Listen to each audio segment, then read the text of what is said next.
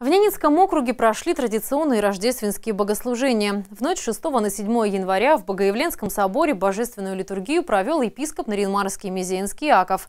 Ольга Русл продолжит.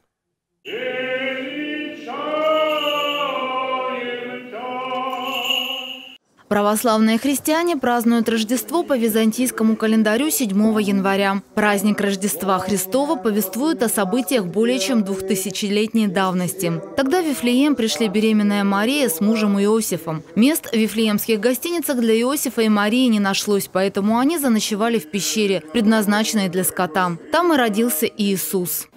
Родим же сына,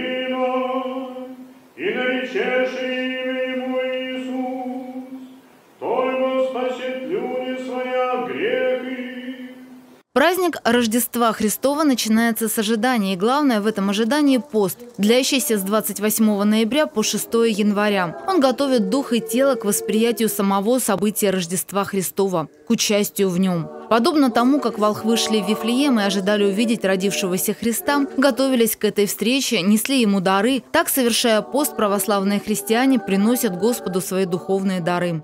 Удивительный праздник рождения Иисуса Христа – нашего Спасителя. И, конечно же, в, этот, в это время Иисус Христос был ребенком, поскольку моя профессия связана с детьми, поэтому мне очень близко это время. Ну, вообще любому, конечно, человеку на земле. Это, это удивительное, сказочное время со звездами, с красотой, со снегом.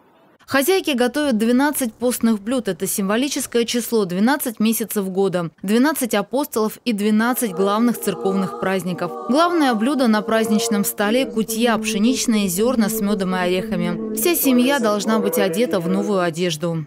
Как обычно, пост надо соблюдать. Ну, не всегда получается, по-видимому.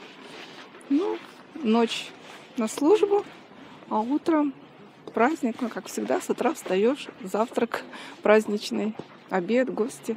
Ну, для начала мы обычно готовим еду, потом наряжаемся и, как обычно, празднуем, веселимся.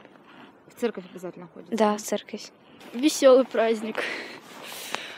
Ну, много гостей не набираем, пару знакомых, да и родственники. Ничего особенного. А что готовите? Пироги, тортик. Вечер накануне торжества проводят в кругу самых близких людей. За стол садятся с первой звездой, которая символизирует Вифлеемскую звезду, приведшую волхвов к родившемуся Иисусу Христу. Обычно приходят еще с каледой. Сегодня уже были у нас каледовщики, девочки были, очень красиво пели частушки. И все тоже прославляли Иисуса Христа. Богородицу. Ну, я всегда по традиции их запускаю, потому что э, еще бабушка говорила, что они всегда приносят счастье в дом. Поэтому дом открыт для всех. Если кто-то придет в гости, я буду только рада. Сразу после праздника Рождества Христова у православных России начались святки. Особый период до 18 января, посвященный радости рождения Христа. Ольга Русул, Леонид Шишилов, телеканал «Север».